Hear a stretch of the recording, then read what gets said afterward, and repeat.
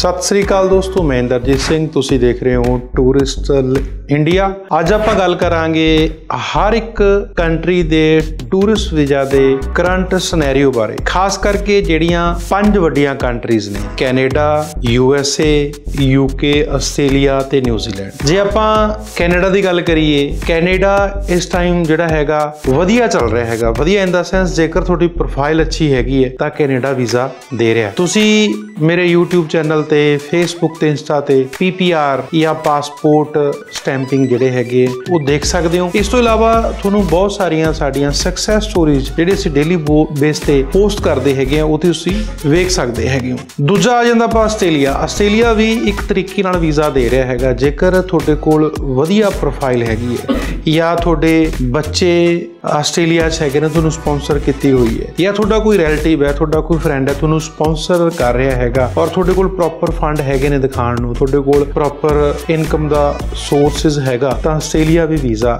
ਜਿਹੜਾ ਹੈਗਾ ਦੇ ਰਿਹਾ। ਜੇ ਆਪਾਂ ਟਾਈਮਿੰਗ ਦੀ ਗੱਲ ਕਰੀਏ ਪ੍ਰੋਸੈਸਿੰਗ ਟਾਈਮ ਦੀ ਗੱਲ ਕਰੀਏ ਕੈਨੇਡਾ ਇਸ ਟਾਈਮ ਮੈਕਸਿਮਮ 40 ਤੋਂ 45 ਡੇਜ਼ ਦਾ ਟਾਈਮ ਲੈ ਰਿਹਾ ਔਰ ਆਸਟ੍ਰੇਲੀਆ ਇਸ ਟਾਈਮ 20 ਤੋਂ 25 ਦਿਨਾਂ ਦੇ ਵਿੱਚ ਜਿਹੜਾ ਵੀਜ਼ਾ ਹੈਗਾ, ਉਹ ਦੇ ਰਿਹਾ। ਨਿਊਜ਼ੀਲੈਂਡ ਦੀ ਜੇ ਆਪਾਂ ਦੋਸਤੋ ਗੱਲ ਕਰਦੇ ਹਾਂ ਨਿਊਜ਼ੀਲੈਂਡ ਇਸ ਟਾਈਮ ਸਭ ਤੋਂ ਵੱਧ ਸਕਸੈਸ ਜਿਹੜਾ ਹੈਗਾ, ਉਹ ਦੇ ਰਿਹਾ ਸਭ ਤੋਂ ਵੱਧ ਸਕਸੈਸ ਰੇਟ ਜੇ ਕਿਸੇ ਕੰਟਰੀ ਦਾ ਹੈ, ਤਾਂ ਉਹ ਨਿਊਜ਼ੀਲੈਂਡ ਦਾ ਹੈ। ਨਿਊਜ਼ੀਲੈਂਡ ਨਵੀਂ ਪ੍ਰੋਫਾਈਲ ਨੂੰ ਵੀਜ਼ਾ ਦੇ ਰਿਹਾ, ਨਵੇਂ ਫੰਡਾਂ ਨੂੰ ਵੀ ਦੇ ਰਿਹਾ। ਵਿਦਆਊਟ ਟਰੈਵਲ ਹਿਸਟਰੀ ਤੇ ਬਹੁਤ ਸਾਰੀਆਂ ਰਿਫਿਊਜ਼ਲਾਂ ਤੋਂ ਬਾਅਦ ਵੀ ਨਿਊਜ਼ੀਲੈਂਡ ਜਿਹੜਾ ਹੈਗਾ, ਉਹ ਵੀਜ਼ਾ ਦੇ ਰਿਹਾ ਪ੍ਰੋਸੈਸਿੰਗ ਟਾਈਮ ਨਿਊਜ਼ੀਲੈਂਡ ਦਾ ਕਿੰਨਾ ਹੈ? 20 ਤੋਂ 25 ਦਿਨਾਂ ਦਾ, ਜਿਹੜੇ ਹੁਣ ਯਾਨੀ ਕਿ ਆ ਜੁਲਾਈ ਦੇ ਵਿੱਚ ਜਿਹੜੇ ਵੀਜ਼ੇ ਅਪਲਾਈ ਹੋ ਰਹੇ ਨੇ, ਇਹਨਾਂ ਦਾ ਜਿਹੜਾ ਰਿਜ਼ਲਟ ਹੈਗਾ, ਬਹੁਤ ਛੇਤੀ ਆਏਗਾ ਕਿਉਂਕਿ 15 ਜੂਨ ਤੋਂ ਬਾਅਦ ਦੇ ਜਿਹੜੇ ਅਪਲਾਈ ਹੋਏ ਹੋਏ ਸੀਗੇ, ਉਹਨਾਂ ਦਾ ਰਿਜ਼ਲਟ 15 20 ਦਿਨ 25 ਦਿਨਾਂ ਦੇ ਵਿੱਚ ਜਿਹੜਾ ਹੈਗਾ ਉਹ ਦੇਖਣ ਨੂੰ ਮਿਲ ਰਿਹਾ ਹੈਗਾ। ਜੇ ਆਪਾਂ ਗੱਲ ਕਰਦੇ ਦੋਸਤੋ ਯੂਕੇ ਦੀ ਯੂਕੇ ਹਮੇਸ਼ਾ ਤੁਹਾਡੀ ਫਾਈਨੈਂਸ਼ੀਅਲੀ ਟ੍ਰਾਂਜੈਕਸ਼ਨ ਤੇ ਵੀਜ਼ਾ ਦਿੰਦਾ ਹੈਗਾ। ਜੇਕਰ ਤੁਹਾਡੀ ਸਟੇਟਮੈਂਟ ਅੱਛੀ ਹੈ, ਤੁਹਾਡਾ ਫਾਈਨਾਂਸ ਅੱਛਾ ਹੈਗਾ, ਤੁਹਾਡਾ ਫਾਈਨੈਂਸ਼ੀਅਲ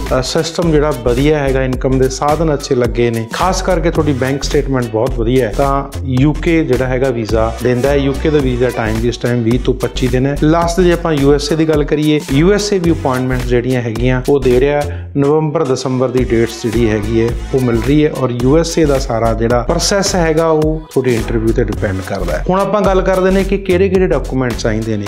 ਯੂਐਸਏ ਨੂੰ ਛੱਡ ਕੇ, ਕਿਉਂਕਿ ਯੂਐਸਏ ਇਸ ਤਰ੍ਹਾਂ ਦਾ ਕੰਟਰੀ ਜਿੱਥੇ ਕੋਈ ਪੇਪਰ ਤੁਹਾਡਾ ਨਹੀਂ ਜਾਂਦਾ। ਯੂਐਸਏ ਸਿਰਫ ਤੁਹਾਡੀ ਇਨਫੋਰਮੇਸ਼ਨ ਜਾਂਦੀ ਹੈਗੀ ਹੈ। ਜਦੋਂ ਆਪਾਂ ਯੂਐਸਏ ਦੀ ਫਾਈਲ ਤਿਆਰ ਕਰਦੇ ਹਾਂ, ਤਾਂ ਡੀਐਸ 160 ਫਾਰਮ ਜਿਹੜਾ ਹੈਗਾ, ਉਹ ਭਰਿਆ ਜਾਂਦਾ ਹੈਗਾ। ਉਸ ਤੋਂ ਬਾਅਦ ਤੁਹਾਡੀ ਇੰਟਰਵਿਊ ਸ਼ਡਿਊਲ ਹੁੰਦੀ ਹੈ ਤੇ ਇੰਟਰਵਿਊ ਤੁਹਾਨੂੰ ਵੈਸੇ ਸਵਾਲ ਪੁੱਛਦੀ ਹੈ। ਸਿਰਫ ਇਨਫੋਰਮੇਸ਼ਨ ਜਾਂਦੀ ਹੈ ਡੀਐਸ 160 ਦੇ ਵਿੱਚ, ਹੋਰ ਕਿਸੇ ਤਰ੍ਹਾਂ ਦਾ ਕੋਈ ਪੇਪਰ ਜਿਹੜਾ ਹੈਗਾ ਉਹ ਨਹੀਂ ਜਾਂਦਾ। ਬਾਕੀ ਜਿੰਨੇ ਵੀ ਕੰਟਰੀ ਹੈ, ਚਾਹੇ ਆਪਾਂ ਯੂਕੇ ਦੀ ਗੱਲ ਕਰ ਲਈਏ ਕੈਨੇਡਾ ਦੀ ਗੱਲ ਕਰ ਲਈਏ ਆਸਟ੍ਰੇਲੀਆ ਦੀ ਗੱਲ ਕਰ ਲਈਏ ਨਿਊਜ਼ੀਲੈਂਡ ਦੀ ਗੱਲ ਕਰੀਏ, ਤੁਹਾਡੇ ਹਰ ਇੱਕ ਤਰ੍ਹਾਂ ਦੇ paper as a paper work ਯਾਨੀ ਕਿ ਫਾਈਲ ਬਣ ਕੇ ਸਕੈਨ ਕਰਕੇ ਸਬਮਿਟ ਹੁੰਦੇ ਨੇ। ਸੋ ਤੁਹਾਡੇ ਸਾਰੇ ਪੇਪਰ ਚਾਹੀਦੇ ਹੁੰਦੇ ਨੇ। ਕਿਹੜੇ ਕਿਹੜੇ ਪੇਪਰ ਚਾਹੀਦੇ ਹੁਣ? ਤੁਹਾਡੀ ਇਨਕਮ ਦਾ ਪ੍ਰੂਫ ਤੁਹਾਡੀ ਆਈਟੀਆਰ ਹੋ ਸਕਦੀ ਜੇ ਫਾਰਮ ਹੋ ਸਕਦਾ 16 ਨੰਬਰ ਫਾਰਮ ਹੋ ਸਕਦਾ ਹੈਗਾ। ਜੇ ਬਾਹਰ ਰਹਿੰਦੇ ਹੋ ਤਾਂ ਵਰਕ ਕੰਟਰੈਕਟ ਹੋ ਸਕਦਾ। ਤੁਹਾਡੀ ਬੈਂਕ ਸਟੇਟਮੈਂਟ ਜਿੱਥੋਂ ਤੁਹਾਡੀ ਇਨਕਮ ਆ ਰਹੀ ਹੈ, ਜੇ ਸੈਲਰੀ ਹੈ ਤਾਂ ਸੈਲਰੀ ਆਂਦੀ ਹੋਵੇ, ਖੇਤੀਬਾੜੀ ਕਰਦੇ ਹੋ, ਜੇ ਫਾਰਮ ਦੀ ਇਨਕਮ ਆਂਦੀ ਹੋਵੇ, ਬਾਹਰ ਰਹਿੰਦੇ ਹੋ ਤੁਸੀਂ, ਤਾਂ ਵੀ ਤੁਹਾਡੀ ਸੈਲਰੀ ਜਿਹੜੀ ਹੈਗੀ ਆਂਦੀ ਹੋ ਜੇ ਬਿਜ਼ਨਸ ਕਰਦੇ ਹੋ, ਤਾਂ ਬਿਜ਼ਨਸ ਦੇ ਇਨਕਮ ਅਕਾਊਂਟ ਦੇ ਵਿੱਚ ਆਣੀ ਚਾਹੀਦੀ ਹੈ। ਤੁਹਾਡੀ ਪ੍ਰਾਪਰਟੀ ਦੀ ਵੈਲਿਊਏਸ਼ਨ ਤੁਹਾਡੀ ਫੈਮਿਲੀ ਦੀ